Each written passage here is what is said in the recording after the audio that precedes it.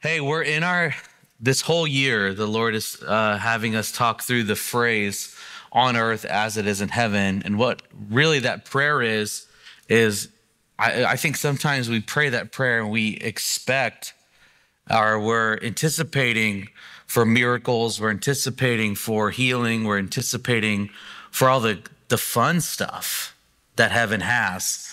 And what that prayer really is, is let me get the culture of heaven on earth in me. Whatever's in heaven, whatever principles, values, cultures, I, I want that in me. So that, that prayer is really, uh, you're declaring war on your flesh. So you have to just walk us. I'm going to walk you through stuff just this, this year. You will have the opportunity to be offended at something. I can, I, that is a guarantee money back guarantee. You will have an opportunity to be offended at something. I'll have an opportunity to be offended at something. If you don't think these sermons don't preach to me first, uh, they do. they wear me out. uh, it's really what the Lord is saying is He wants a people that are set apart who carry the culture of heaven, who, when they pray on earth as it is in heaven, they're not just praying for what they get, but they're being, they're praying to be transformed into his likeness, into his image bearing. Does, are, are you guys excited about that? So now let's talk about money. I know you guys, you're so excited about this. And normally, you know, Pastor Robbie will tell a story or something in the offering or whoever's doing that. And he didn't because this whole, the next two hours, we're going to talk about money. Before we do that, let's pray. Isn't that good? Isn't that good? Aren't you blessed? Let's pray. Heavenly Father, thank you for who you are. Thank you that you're in this room, that you've been moving, you are moving, and you're going to continue to move. I pray that you would, I submit my tongue, Holy Spirit, anything you want said, say it. Anything you don't want said, I pray that you would hold it back and that people would be challenged and changed when they hear the word come forth this morning. And I pray, Holy Spirit, that you would convict and correct and encourage us through the word. In Jesus' name, amen. Amen. Real quick, I just want to take a step back and unpack what was happening in the room during worship before you go right. I'm having a hard time because it feels like every money sermon is just like random. Like there's no songs about tithing or giving.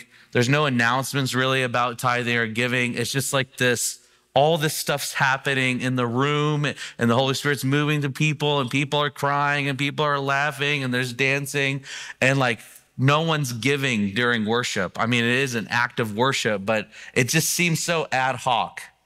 It seems like so out of place, but it's really not. It folds into the context of all of us being on the altar for Him. And this is really what the Lord brought to mind as Amanda and the team was singing this morning is Second Timothy, verse 1. I'm going to start in 3. And the title of this section of scripture, 1 3 uh, through verse 7, it says, Guard the deposit entrusted to you. Guard the deposit. So this is Paul writing to Timothy, who is a young leader. And he says, I thank God, whom I serve, as did my ancestors with a clear conscience, as I remember you constantly in my prayers night and day.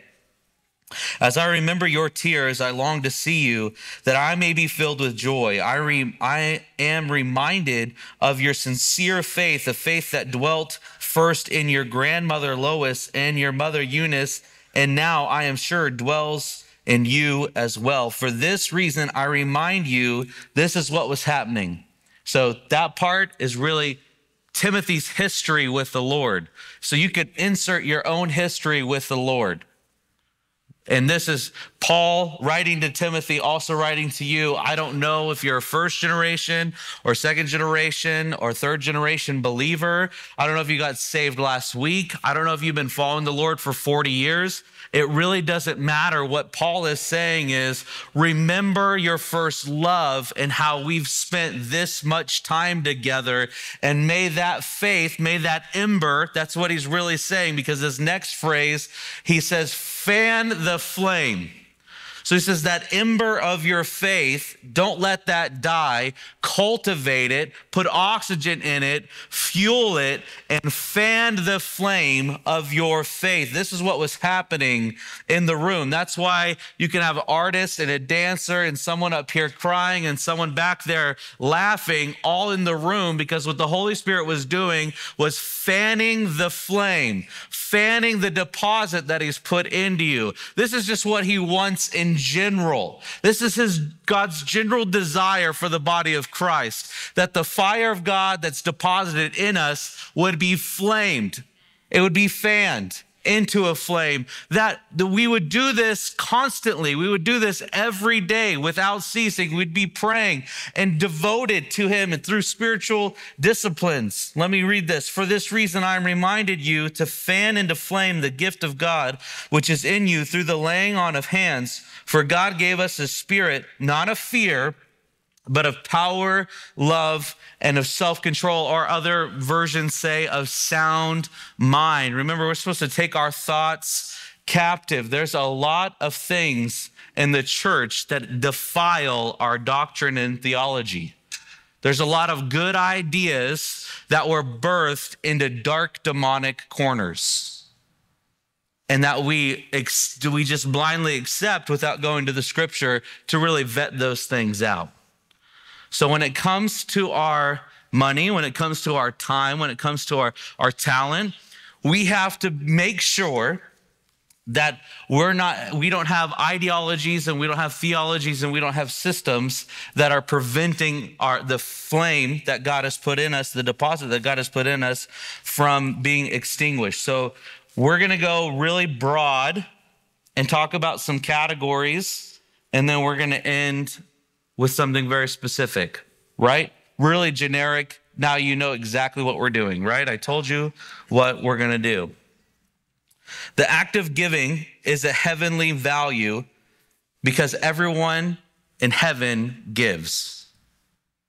This is not a man made tradition. This isn't a man made idea. Giving time, talent, treasure, being a part of a community is not something that a guy, not, Adam didn't just think this up one day in the garden, hey, Eve, we should take an offering from the animals so we could build up our storehouse. This is something that heaven did first. This is the so when we pray on earth as it is in heaven, we're praying that the generosity, the value of generosity that is in heaven gets in us.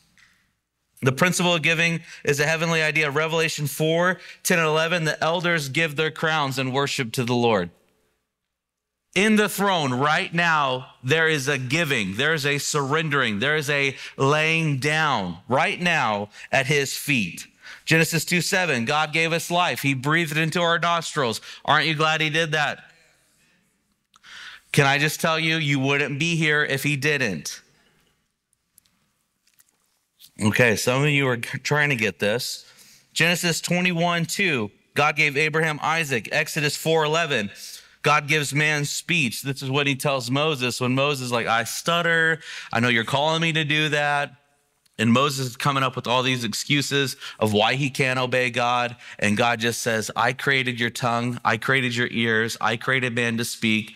And like God has all these trump cards throughout all of scripture. I mean, go read Job like 20 or 38 through 42. And you're just like, okay, I, what is man that you are mindful of me?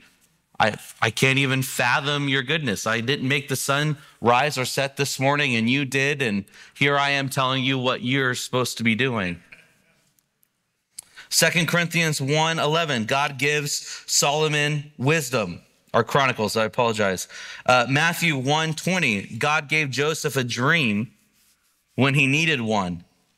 John 3 16, God gave us Jesus, salvation, freedom, deliverance, and the community of the church. Isn't that great? Acts 2, the whole chapter. God gave us the Holy Spirit. He poured out his spirit on all flesh. And guess what? He's continuously pouring out his spirit on all flesh. We, I mean, when you say you can't outgive God, it's not just in a financial way, but it's the breath in your lungs. It's not even yours. The, the spouse to your left or to your right, it's not, they're not even yours. That's God ordained, God designed, God planned, God given. The dreams you have, I, I mean, everything comes from above. And if it doesn't, it's blatantly obvious, and uh, you probably need deliverance or something. The principle of giving is a heaven idea. It's a heaven's, it's heaven's idea first. When we pray on earth as it is in heaven, we're asking to be generous as heaven is. How many of you are ready to be generous, as generous as heaven is? Some of us are. I don't know if I am sometimes. Like I, after I do our budget, I don't know how generous I feel. Like we go to Costco and I just slip my wrist and give our firstborn up. It's like, I feel like Genesis 22. I feel like we're putting Isaac on the altar every time. You know, it's there's a, a joke uh, that what you used to, what used to be your mortgage is now your Costco bill. What used to be your Costco bill is now your grocery bill. What is your grocery bill is now your gas bill and you feel the pressures. It's hard when you have everything going on in the political world and the ec- and economics of things and your paychecks and uh, everyone's got their own financial reality that they have to wrestle with. But the idea of generosity and when we pray on earth as it is in heaven, we're asking for heaven's generosity that went bankrupt several times. It gave everything several times. And so when you look at the reality of what is versus the reality of what I'm praying for, that I would act and behave as the culture of heaven, there can be a chasm. And in that chasm, there's several justifications with scriptures and good intentions. Well, the Bible really doesn't say, or you don't really have to give your first fruits because none of you really own an orchard, Mimi. So you can't give fruit. So you're out of you're out of that law or you're out of that burden of giving. But I, first, uh, we have to take a step back. The idea of generosity is the heaven's idea. And when we pray on earth as it is in heaven, we're praying to be generous. We're praying to become generous people. Did you guys see that? I'm not, and we're going to walk through scripture of how that is. So, gener- generosity starts with margin. Okay, it's not wise for you to hear this sermon and be like, yeah, let's be generous and go sell your house and your car and get everything and be completely broke tomorrow. Now, if the Lord's asking you to do that, you better do that. But don't take this and put your carnality and push something through that the Lord's not asking you to do. First, generosity is a principle, it's not the amount that we give, and it's done within margin. Your house has to be in a way, it has to be in order so you know the margin in which you could be generous. In your time and your talent and your treasure, for so long we've been scheduling ourselves out to max capacity. We've been spending to max capacity. We've been showing up to max capacity. And the Lord says, Hey, I want you to pull some of that back and live from live where there's enough margin in your finances in your time and your energy and your mental energy and your relationships it's okay to pull back and give out of your margin i love this is a whole there's a whole theory about business be our business our ministry through business and there's a saying where he says without margin there is no ministry if everything is consumed, if everything's eaten up, and you don't have a plan and you don't know where you're at, and we'll, we'll walk through that through this series. But first, we have to give through our margin. God loves a cheerful giver. I love what Randy says a hilarious giver, an audacious giver, a, a, like something that will just make people crack up. Like, why would you do that? Why did you do that? And that's in 2 Corinthians 9 7, and we'll get there here in a minute. All right, Matthew 25. Let's talk about the area of stewardship because if generosity, if if generosity is one leg in which we're supposed to operate or run on, stewardship is the other. Uh, you don't know what your margin is unless you actually have stewarded that thing. So for us to run in the fullness of financial freedom, what the Bible says, we have to have generosity on one side and stewardship on the other. You can't just give in the name of stewardship when you know they're going to go buy a six pack and some other stuff that doesn't glorify God, that doesn't edify their body, and is not pure. And you can't just say, Well, I'm being generous. We're supposed to be generous, Pastor. You're also supposed to be wise. You're also supposed to be a good steward. You're also supposed to sow your seed in good ground. So there's two, they're not, they're not at tension, they're not at odds. They work in tandem together. So go to Matthew 25, and we're not going to read through the whole thing, but we're just going to talk through the parable of the talents. And here you have this person of Jesus or that represents Jesus, and he's saying that the kingdom of, of heaven is like this parable um, where there's three servants and to one is given five, one is given two, and one is given one. Uh, the one who's the those who are given five and two, they multiply what they have. Now, talent is a life, a talent is money, a talent is your actual talents. If you're good at mixing sound, you give that. If you're good at art, you give that. If you're good at singing, you give that. You invest that. You multiply that. You want to multiply that through discipleship. Who are you in discipleship with? So this isn't just about money. This is actually about stewardship that we want to get in. If I have a skill and an ability, who am I meeting with regularly to make sure that that skill and ability is multiplied in other people as well? Right? So that's the same with my time, my talent, and my treasure. I want to invest those back into the kingdom. I want to steward those resources well. I want them to multiply not only in me, but in others. That's the whole point of stewardship because it multiplies. So the one who had five grew it to 10. The one who had two grew it to four. The one who had one buried it in the ground. Now, you've all heard this sermon. You've all been struggling with stewardship before, and you, a pastor gets up here and uses this text and throws you an anchor when you really need a life preserver. How many of you have felt that before? And you know you've you've gotten reamed and you're the servant you're bearing your talent. And that could be true. That could be very true. There's times there's days where i bury the talents. I bury the things that god gave me. Why is it? Because i was tired or because of this or because the kids or because of a lot of several like good justifiable reasons I've buried talents or I didn't give when I was supposed to give. I didn't give the amount I was supposed to give. I didn't give the time I was supposed to give.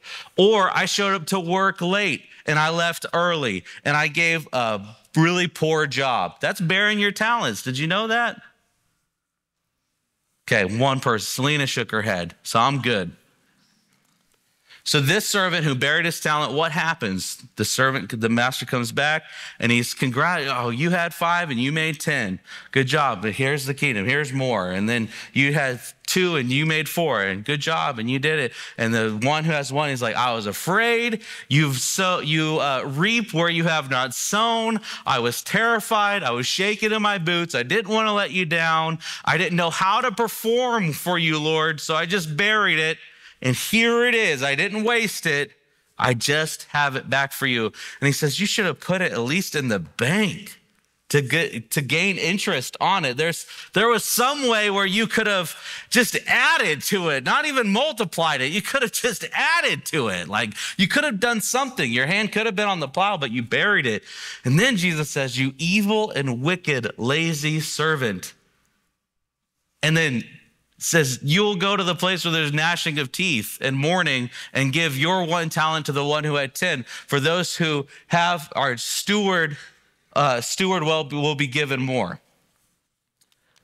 This is the kingdom of God. Welcome. Count the cost before you join. So, this idea of stewardship is one, everything's the Lord's. Everything's the Lord's. Your time, your family, your marriage, your, your job, everything's the Lord. Once you possess the things, once you possess your possessions, they really possess you. That's why in Luke 10, he says, Don't take anything with you. When you go minister the gospel, don't take anything with you. Because when we have possessions, then the enemy has something over us. He has leverage. If I have, if I'm like Gollum from Lord of the Rings and I have several precious things that I'm holding on to, this is what it means when we possess our possessions.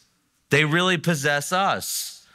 The enemy has power over us. Now we're not listening to the Holy Spirit, we're listening to whoever has control of the thing that we love the most, which could be our money, which could be our time, which could be our talent. You could love your kids more than you love the Lord. You could love your spouse more than you love the Lord.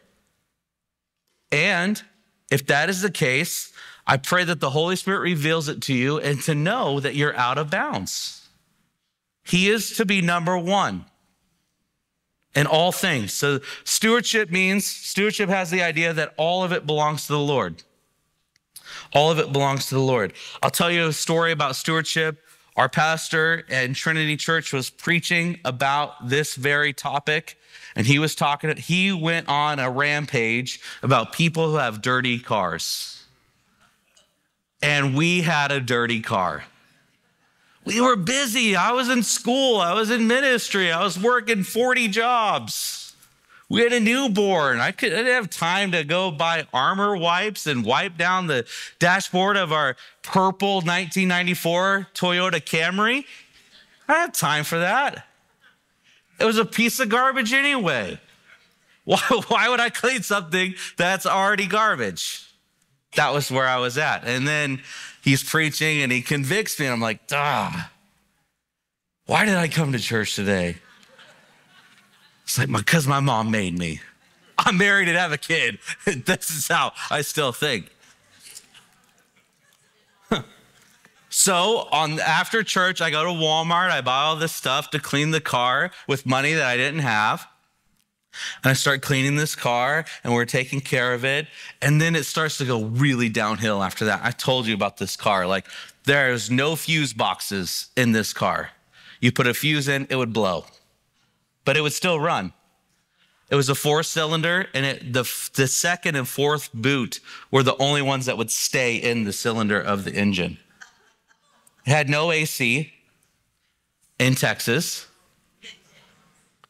It was just, it, we, we marched around it several times and laid hands on it. It, it, it ran on the Lord. It ran on the Holy Ghost. And um, we, we were ending up buying another car and we traded that thing in. And the guy who took the appraisal gave us $1,200 for it. It was like over 200,000 miles. I mean, there's no way. I was like, just don't pop the hood and we'll be good. But we started taking care of it, even though in our eyes it didn't feel like it should be taken care of. And I can tell you, we probably have, we have to this day, we've been given several cars. From that moment, we decided that we were going to be stewards in this area. And for whatever reason, the Lord just said, I'm going to open up the door. I'm going to give you several cars. I think we had one, two, maybe five, maybe five cars total given to us because we decided to take care of the car. So stewardship says it's not my car, it's the Lord's car.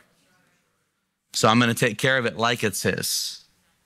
Because if this is the, the temple of Solomon, if this is the Holy of Holies, and it's really the Lord's, are people impressed when they show up to the thing that you are called to steward? And that's really what we begin to look at. Uh, we're to take care of God's stuff uh, to ensure He's receiving the maximum return of glory that He can, because that He is concerned with the glory that He's receiving, and He's not going to share glory with anyone else. So stewardship is really taking care of God's stuff. That's like an overview. His money, his time, his talent, his everything is his. When you walk into this building, it's God's. How are we taking care of it? Those are all questions that we should be asking. So let's go deeper into the area of finances because all there's uh, several resources, the stuff you have, again, your time, and your talent is also an important resource that you're called the steward. But since we're talking about money, let's talk about money. So, in the area of finances, I just need to let you know that money is a tool, it's amoral. There's a verse that we're going to read in the book of Timothy, and it says, The love of money is the root of all evils. Money is not the root of all evil. The love of money is the root of all evil. Money doesn't care what it's used for, it doesn't. You could ask the dollar bill in my pocket or the hundred in yours. It doesn't care. I'm so glad that was like a slow rolling joke. And I was like, don't say it. it started coming out. I was like, Mandy's not here to point at me. So you get the uncensored jokes because she's in the back somewhere. She's going to peek out right now. Money is amoral. It doesn't matter. And because it's amoral, it can be used for sinful things. And so, part of what we're going to talk about the tithe is to redeem or to cleanse the money that comes into your storehouse. So, we're going to talk, we'll talk through that. that. That's a little bit later, but money is amoral. The love of money is the root of many evils, which leads to many pangs. And the word pangs is the same word that is used to describe how Judas hung himself. So when Judas hung himself, it's not in the traditional Western, he got a, a rope and a tree, but that he bought a cliff and he put spikes down at the bottom and then jumped off and was impaled by the spikes. It's the same way that Haman was hung in the book of Esther, 75 feet in the air. So when it talks about the love of money is many pangs, think through this. The love of money is is in such a way that it's like every day when you love money more than you love the Lord, you hurl yourself off a cliff and you have many pangs, many spears that go through your body. So it could mean that a lot, maybe some of the problems that we have are are there where our view of money is off. It's off kilter and we actually love it. Not that we have it or that you have a lot of it. It's not about the amount that makes it bad, it's how you feel about it that makes it bad. I heard a pastor say earlier, okay, Mandy's in the room, so the jokes will cease. I heard a pastor say the other day, he goes, How much money is too money for a believer to have? I thought, I was like, Ah, you got me. I'm paying attention. I want to know this. I start writing it down. I'm like, This is our goal $1 less than whatever this guy says. And he said, The amount of money that you have, if it makes you forget who God is, it's too much. So if it's $100, if you have $100 in your pocket and you start thinking of things that aren't godly to do with that money, it's too much. I was like, man, that really puts things into perspective because it goes back to this verse that the love of money is the root of all evil because it elevates other things above God. So I don't want you to be impaled by many pangs. I don't want to be impaled by many pangs. In fact, the field that Judas bought to do that act on is still cursed today in Israel and will not be purchased, and nothing grows on it. It's still, it, it is still inheriting, the land is still inheriting that death. And what did he what did he do essentially that led him to do that? He sold our Lord for 30 pieces of silver.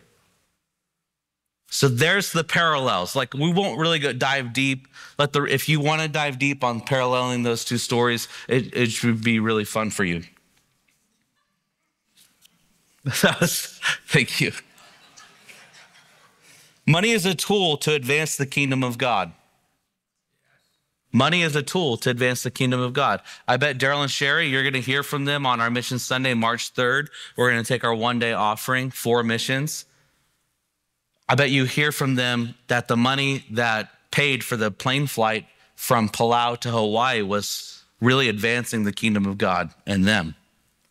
Because if that didn't happen, he might die on that island, and then the several people that they've left to, led to the Lord from that point to this day wouldn't maybe possibly not be in the kingdom of God. Burning Man costs money. The refrigerator we bought for John Brown Elementary costs money, but those teachers are extremely blessed.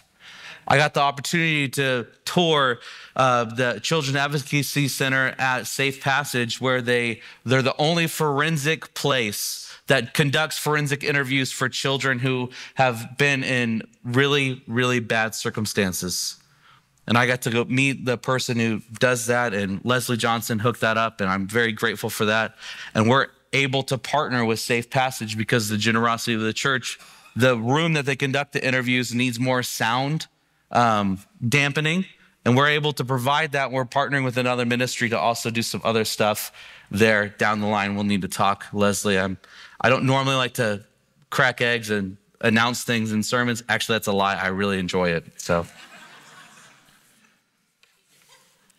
but this is a tool. Money is a tool in which the kingdom of God is advanced.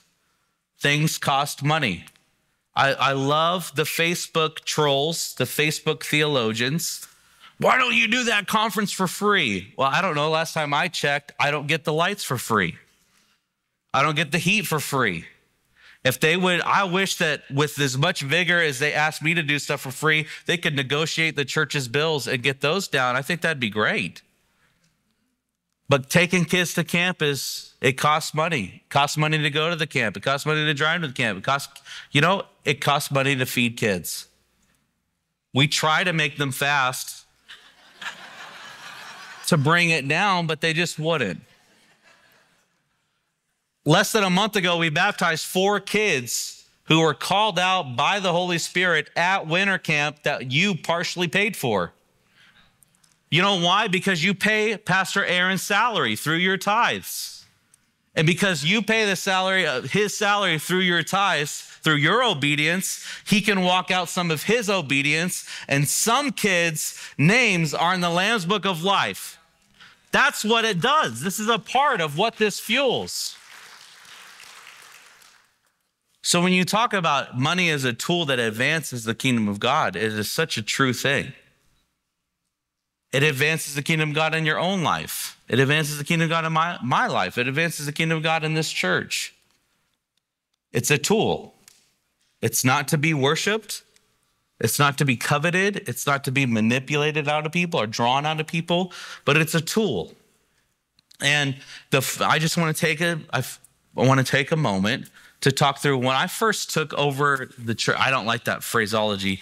When I was first asked to be considered the pastor of the church, the month before, our bookkeeper came to us and said, You're in debt.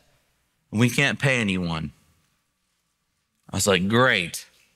What do we do? So I called my dad, and my dad said, You need to cut deep enough where you only have to cut once. Like, okay, that's gonna stink because I'm the one getting cut. You know, when uh, when a church goes through anything financial like that, salaries are the only thing set. You can cut back, um, you can cut back ministry spending. You can do that. But if you don't have the event, then you don't spend the money. But if you have staff, you always that money is always going out. It's always flowing out. It's a constant. It's a hard cost as far as running the church goes. So we met with the board, who's not our current board, but Darren was on the board. Darren Kennedy, and he had announced to everybody that all the plan that we were doing. And so we cut everyone back. And I remember she's moved since, but Jane Beaver got up and she said things that I wanted to say but couldn't say. And her wisdom, she just began to say, We are tithers. And she shared a testimony about how when her husband died, she was tithing and she was provided supernaturally by the Lord, provided for her every day. So she, with her faith, this is what the body of Christ really looks like. With her faith, encouraged the church.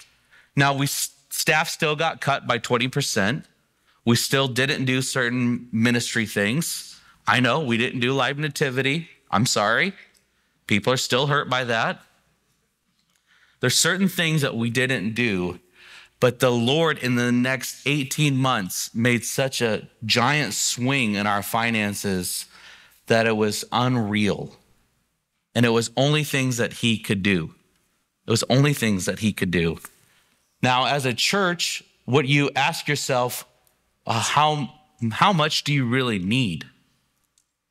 If you're talking if you're thinking about, if you're investing into this church like it's an organization to invest in through tithes and offerings, you could be wondering, well, how much, it, how much do you really need? How much do you need of, of mine? And how much, well, and I'm glad that scriptures really lay out a percentage threshold for us because it's not about what the organization needs or the church that you attend needs. It's not about need, it's about obedience. I, I really want to walk you through that because sometimes in Christendom and in church world, we say, you know what? I, I do want to serve in kids ministry, but it seems like they have all that they need. And what we do is we say, whatever is happening now is as far as God wants to go.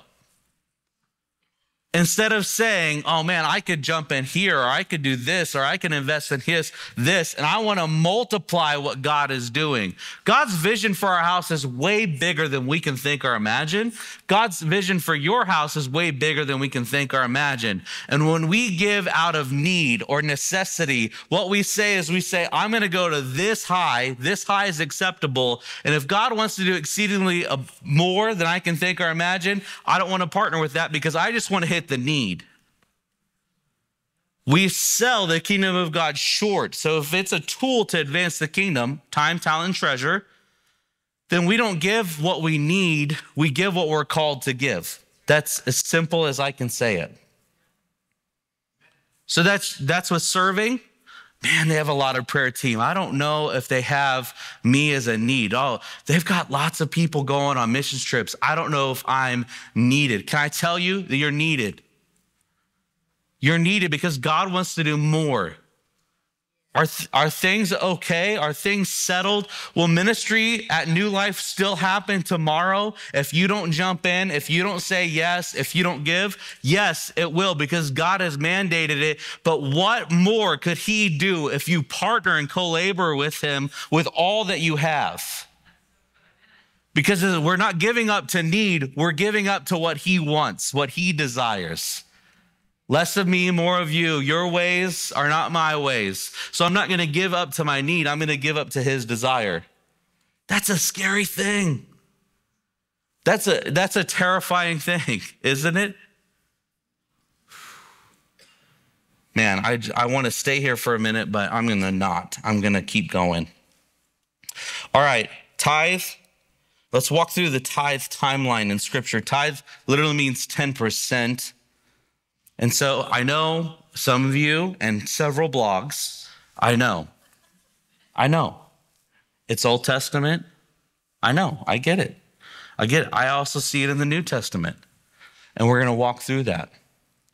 Listen, if you're reading, if generosity is heaven's idea, let me ask you this. If generosity is heaven's idea, and you're listening to someone who claims to be a theologian who's telling you that you don't have to be generous, are they missing a principle of God? That's kind of where I sit. So, whether if it's in the Old Testament or not, I still want to find God's heart through generosity and stewardship. Right? Okay. That's that's just me. I don't know if that's you.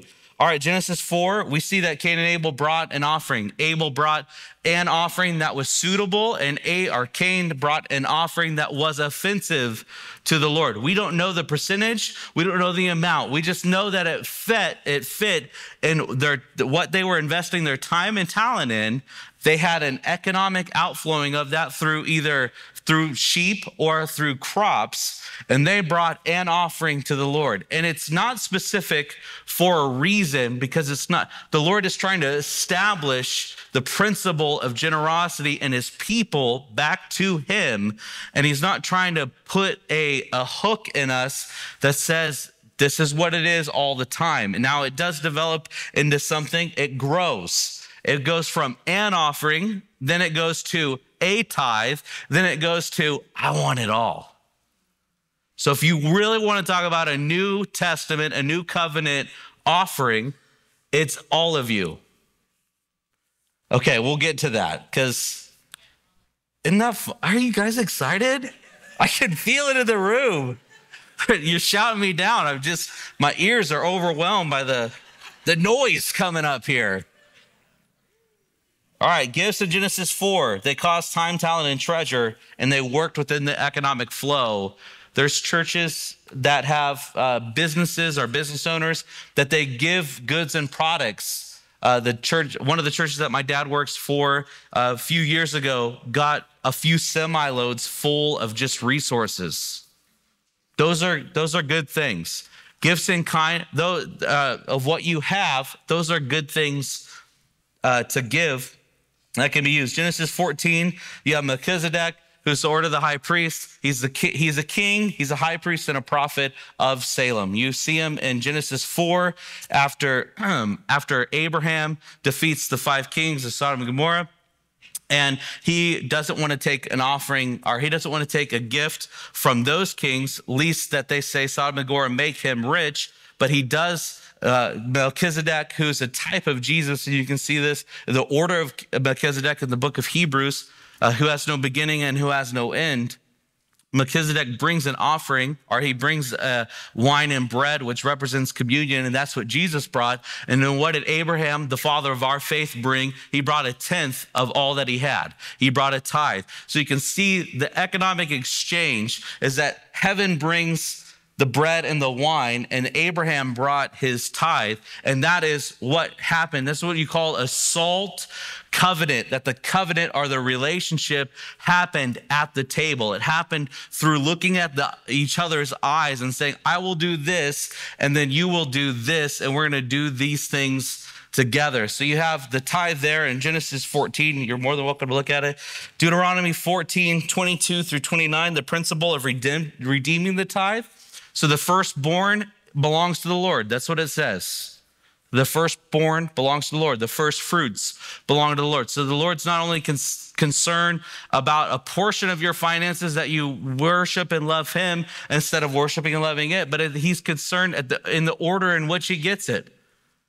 He doesn't want your leftovers, He wants to be first.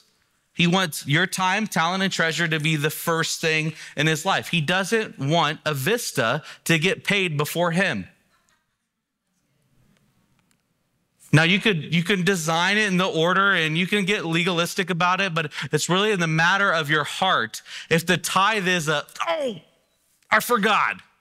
We were looking good. I put some in savings and I paid extra on the card, but I forgot to tithe. We'll get it next time. That might be something in the heart. If it's not in the order, in the rhythm of a priority, you might need to adjust something in your personal stewardship of your finances. I was going to play a video. Maybe I'll post it later because it's on TikTok and people feel weird about TikTok. Uh, but this is testimony of this guy who planted lemon trees. Have, who's seen this video? Okay, this guy planted lemon tree a lemon tree. In Leviticus, it says, don't, uh, don't take a harvest for three years. And on the fourth year, take a harvest. So he follows Leviticus, Old Testament, old rusty, dusty Testament. unredeemed, you know. So he follows Levitical law. It lets the ground rest and doesn't take a harvest. And on the fourth year, he takes a harvest and he takes 12 lemons off this lemon tree and he writes first fruits on the lemons and then he puts in the basket. And he's like, I felt like an idiot putting these lemons in the offering basket. The next year, the lemons that came back were the size of a softball. And it hasn't stopped producing lemons the size of a softball. The principles work. The principles work. All right, Malachi 3. This is a famous one when it talks about tithe. Let's go there. I want to just mention a few things because this is just such a famous thing. It's talking about robbing God. It's talking about the Levites who are robbing God in the tithe. Okay, and some, some uh, again, theologians on the websites say, well, in context, this is the Levites and I'm not a Levite, so I can't rob God of the tithe. There's a huge jumping shark logic in that because when I read in First Peter, it says that we are a royal priesthood. So, priest who's called to minister in the presence of God, who ho- hosts the very presence of the Holy Spirit, who is the temple. Oh man, don't get me started. You can rob from God. All right, let's talk about it. Okay, I was waiting. I was going to pause for amens. I thought there was going to be for I, verse 6, for I, the Lord, do not change. Therefore, you, O children of Jacob, are not consumed. Stop right there. Why is this in the Old Testament? Because God is saying, I don't change. I don't, it doesn't matter if this were written in the New Testament. I want to put it in the Old Testament. I want to put it in before the cross because I'm still going to remind you that I don't change.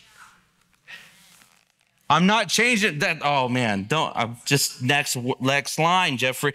Oh, children of Jacob, are not consumed. From the days of your fathers, you have turned aside from my statutes and have not kept them. Return to me, and I will turn to you, says the Lord. But you say, How shall we return? Verse 8 Will man rob God?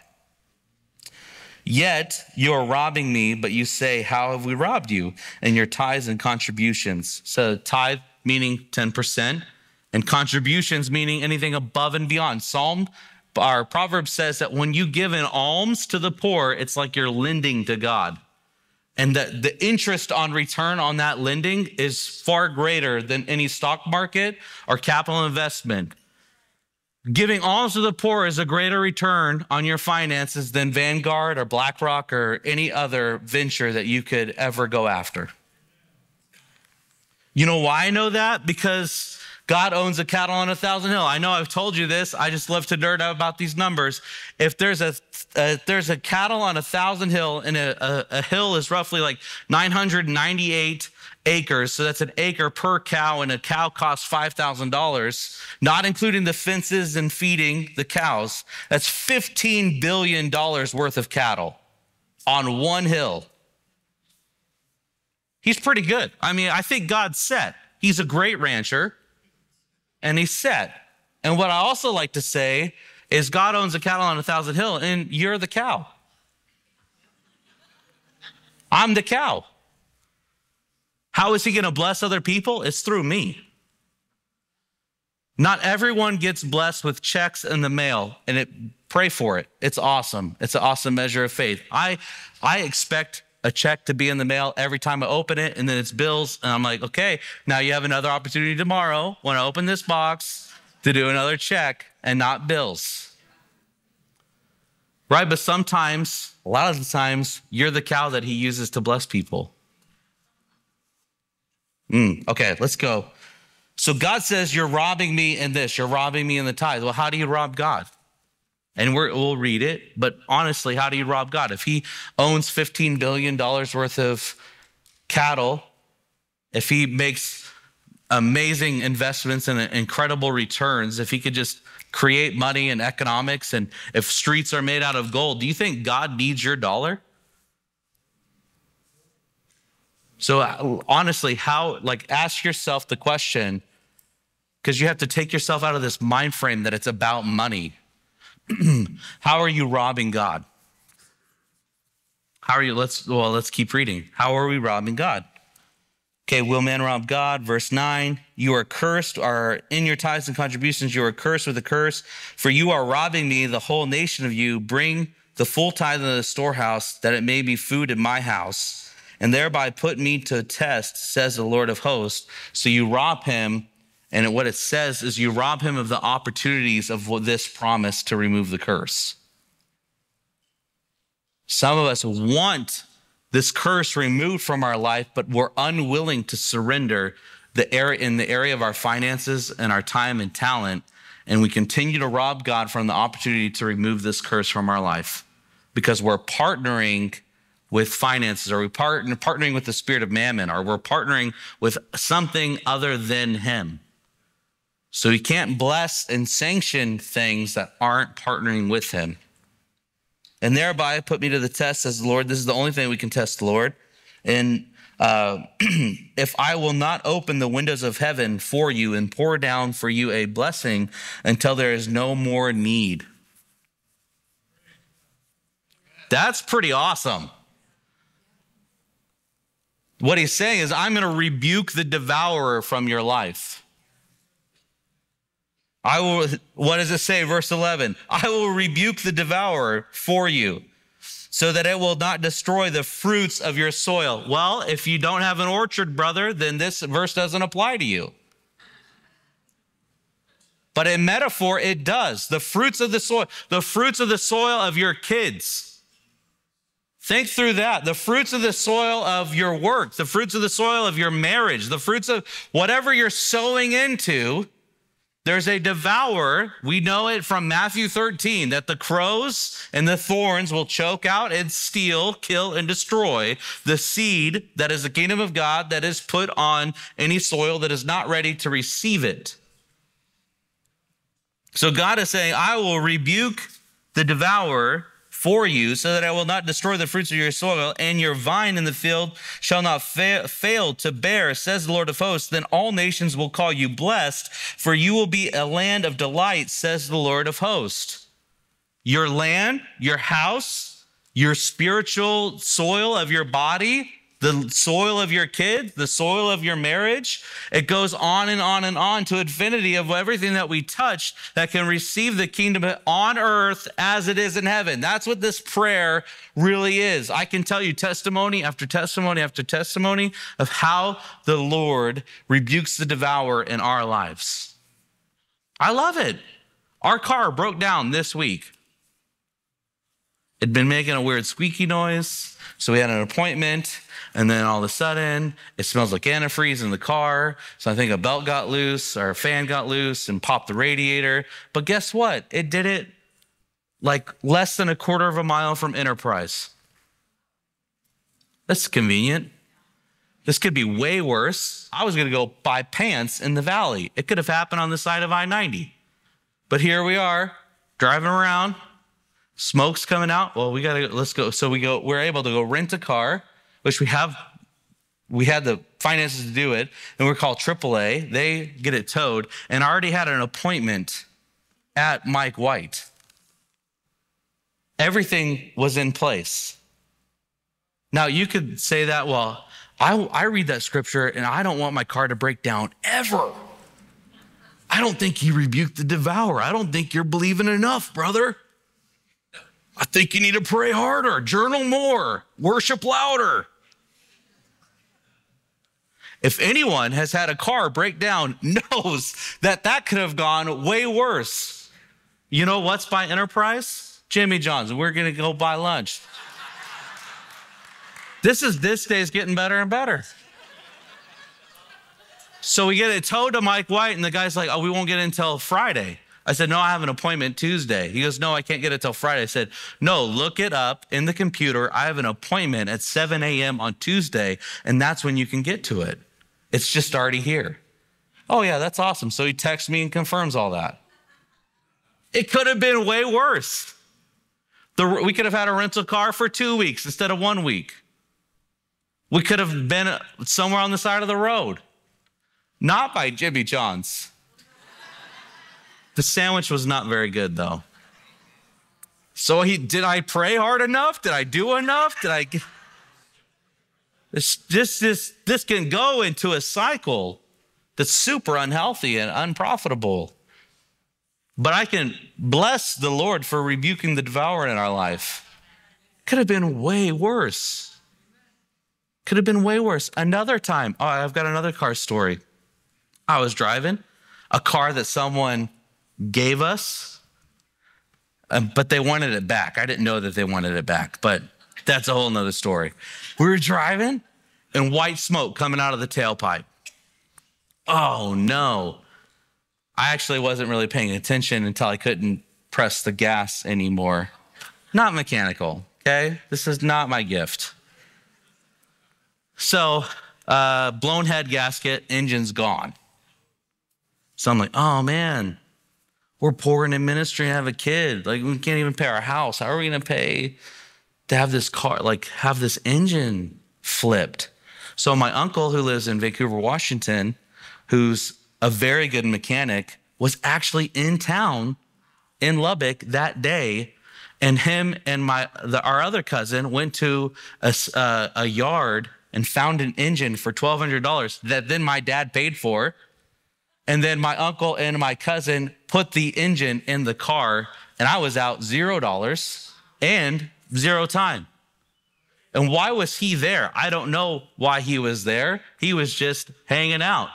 But why that car broke down at that time when he was in town, the man can tune an engine by ear. Like, so talented. And I'm glad that he had the, the wits about him and the, the ability about him to give his time and talent to his nephew who really needed it. So he was a cow that was used to rebuke the devourer in my life. Do you see how this is working? Oh, I see. I've just got so many car stories. How this other, how you test the Lord in this and how this rebukes the devourer are again, another set of cars breaking down. This is why people give us cars, they're really lemons. But you go from glory to glory to glory. Hallelujah. So again, driving another car that's broke down, having a hard time paying bills, and we're walking Noah around. Y'all, Noah was lactose intolerant. So we had to buy goat's milk in Lubbock, Texas. That was $5 a quart. A quart. Right? Is that right? Yeah. It hurt every time. Anyway, so we're just walking Noah, our blessed son who's costed us so much money.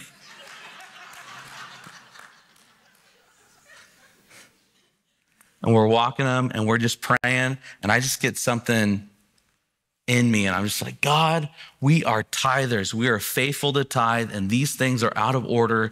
It seems like the, the devourer is not being rebuked in our life. What is happening? Would you vindicate us? Something is out of bounds. We're following the commands that you've put out in front of us in this area.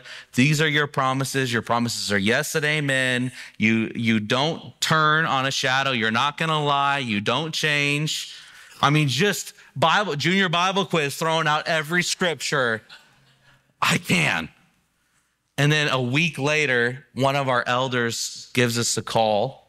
One of the guys in the church gives us a call and he's like, Hey, just I want you to come uh, look at this car that I'm test driving. We're like, okay. So I go look over. I'm headed to class at Tech, and I go by the dealership and I, I drive it around. I'm like, yeah, that's awesome. He goes, okay, cool. Uh, you can pick up the keys. We're going to buy this for you. Like, wait, wait a minute. So we're going from lemons to driving cars off lots. Certified pre owned. We haven't got that new, new one yet.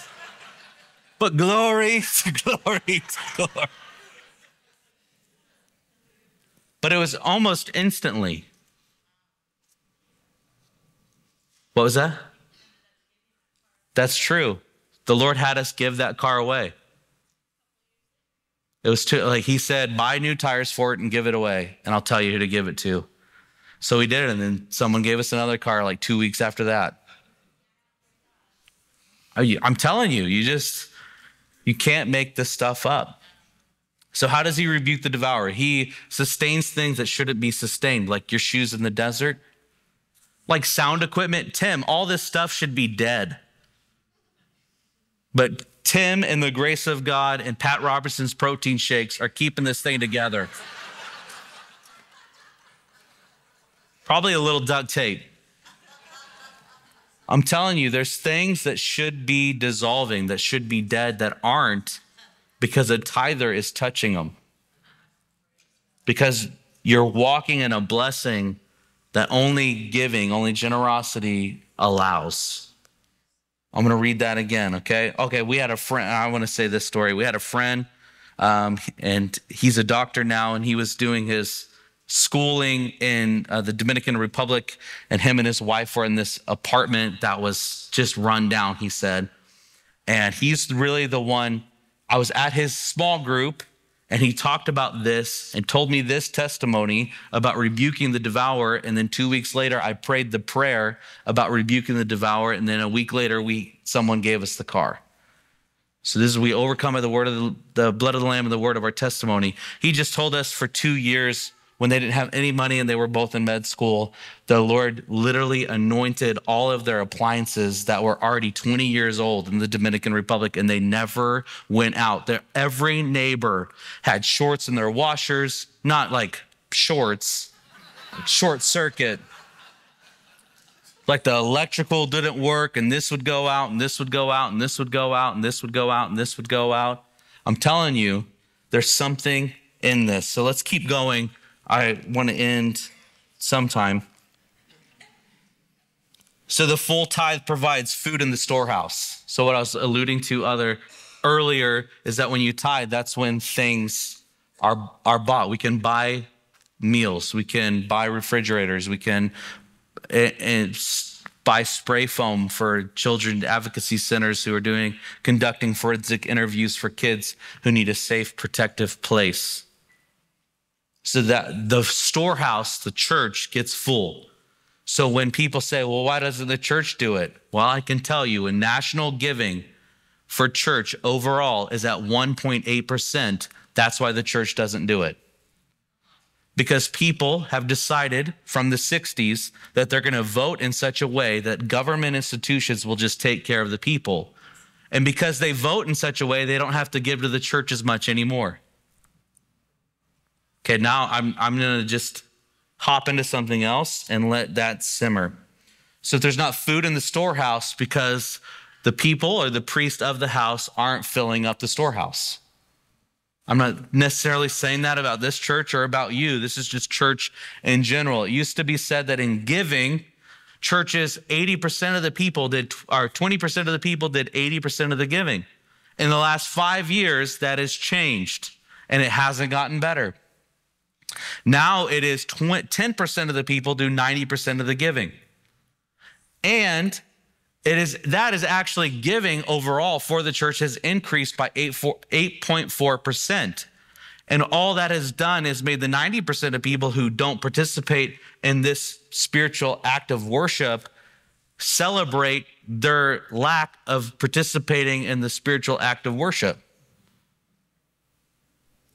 And that only happens if the church has an integrated, specific giver, givers caring program. So the storehouse isn't full. Why isn't the church doing it? Well, there's only the word limited. Our God's not limited, but sometimes your balance sheet is. Um, it's not about money to God, but it's about the opportunity. He wants the opportunity. He wants to bless you with opportunity. Sometimes you're wanting the check in the mail and he gives you a job application. You fill that sucker out and get to work. It says that a lazy man in Proverbs doesn't deserve to eat. It's like, I know you're filled with compassion to help people out, but if they're genuinely lazy and hunger is the fruit of their labor, let them eat. That's why generosity and stewardship have to go hand in hand. We can't just be giving willy nilly because the Holy Spirit might be doing something in them to break a generational curse of laziness in their family. He's trying to break off poverty in them. But you come and give them a supplemental income. Yikes. I, am guilty of this too. It's not just you, it's me. It says that a lazy man puts his hand at the plate and can't even get it up to his mouth. How far gone do you got to be? right. So that's not just physically, that's not just in, in the opportunities that we have to make money, but that's also spiritually. Uh oh. I mean, I, if I can step on your toes, how many of you put your hand to the plate of what the Lord is offering and you never put it to your mouth to eat it? You can never utter the words of Ezekiel and says, taste and see that the Lord is good. Honey is never on your lips. There's cold never on your lips because your hand is still on the plate, asking God to fill you with more. That was free. That was not not about tithing, but let's get back to the notes. Blessing poured out down from heaven. And we have, I know that there's a word of faith movement. There's blab it and grab it, uh, claim it. Claim, what is it? I was like, claim it and fame it.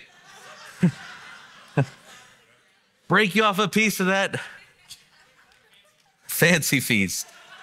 It's all over the name it and claim it. This verse, that, that verse in Malachi has been abused for people who, uh, of the word of faith of the prosperity doctrine. Did you know that blessing is all throughout the Old and New Testament? God desires to bless. He gives gifts. We just read about how God gives. Generosity was his idea. Now, if you're out of bounds and you still want God to bless you, then I'm sure certain that he won't. Deuteronomy ends with this picture that we all need to claim for and claim and fame for ourselves. right? It's God says, if you do my will, you will live on this mountain of blessing. Isn't that great? And if you don't do my will, you will live on this mountain of curses. That's what Malachi is referencing. He's saying you're out of bounds, you're on the wrong mountain, and the windows of heaven are pouring out over here where the blessing is, where the obedience is, where the relationship is, where the intimacy is, not over here where you're trying to build your own kingdom, where your hand is still on the plate where you're complaining about everything, when you're comparing yourself to how good everyone else has got it. Mm, okay. You know it's good when people start mooing. Mm. It rebukes the devourer. Some of y'all are just, you're trying to do deliverance on things that you don't have the authority to rebuke. Giving rebukes this devourer. Your holy water, your scriptures, your be- everything will fall short in rebuking this devourer unless you are tithing, period. Unless you're giving, unless you're partnering with heaven financially and your heart is surrendered to his and you're on the mountain of blessing and not of cursing. I wish we had two mountains. That would be great. All right. First fruits will not be destroyed. Isn't that great? That's good. First fruits will not be destroyed. Your vine shall not fail. All nations shall call you blessed. Now, if your motivation is to be called blessed by other nations, you're out of bounds. But still, the testimony of who we are to be a city on a hill, this is all a part of that. Why is an unbeliever going to ask us why we have so much good going on in our lives if we're not to be called blessed because we're not tithing? Because we're not partnering with God financially? Because the devourer has free reign over our life, because we rob God of every opportunity to open up the windows of heaven on our life. People aren't going to call us blessed. That's not a very good testimony of his glory. I don't think it is. All right, Matthew 23 23 says you ought to do. Let's go there. I'm going to flip there really fast. Matthew 23 23. If you get there before me, just start reading it out loud. Matthew 23 23. This is why you bring your Bible to church. Woe to you, scribes and Pharisees, you hypocrites, for you tithe mint, dill, and cumin, and have neglected the weightier matters of the law, justice, mercy, and faithfulness. These you ought to have done without neglecting the others. He says both.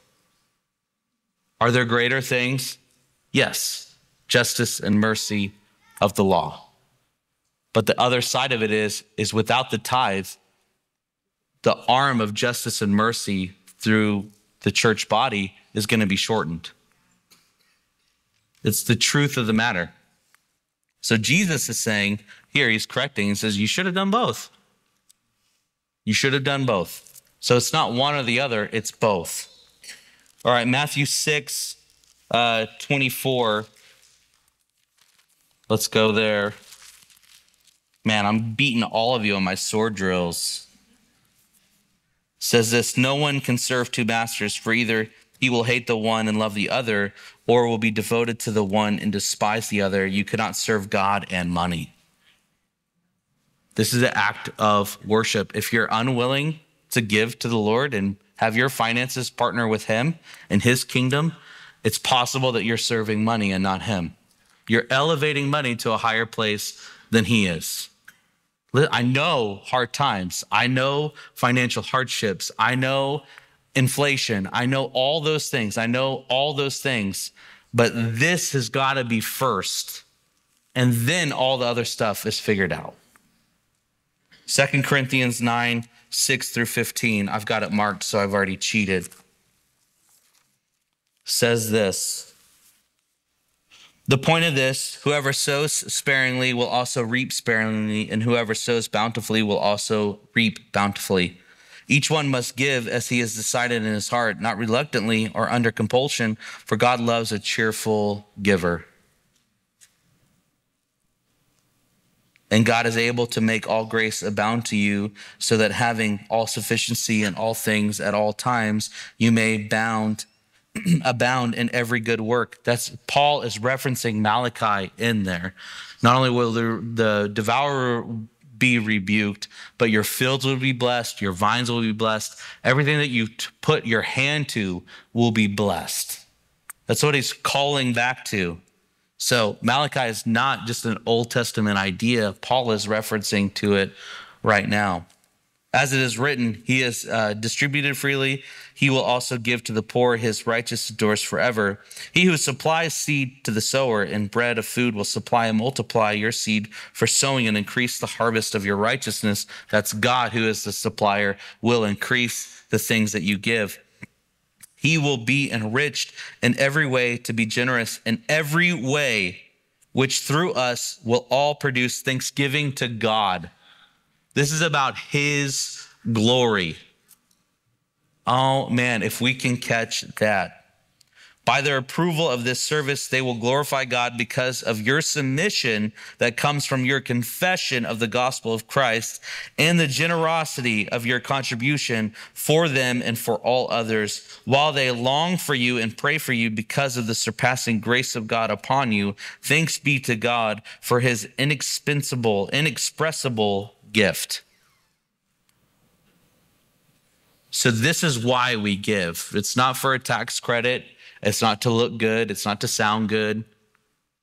This is why we give, because it's a principle of heaven. The act of giving is a heavenly value, and we're, we are praying on earth as it is in heaven in me as it is in heaven. The values of generosity and stewardship that exist in your throne room, let they ring true in my life. That is the point of the prayer. Now, in the next few weeks, we're going to dive deeper in stewardship and t- we're going to dive deeper in all all those things. So this is more of an overview. If you'd stand with me as we close. Again, it feels weird because you don't really how do you do an altar call for giving? Everyone who's not giving,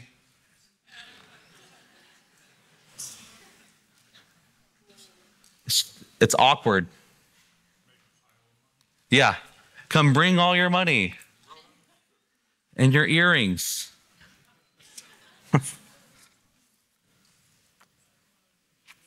so what's what's the response that the Holy Spirit wants from us today?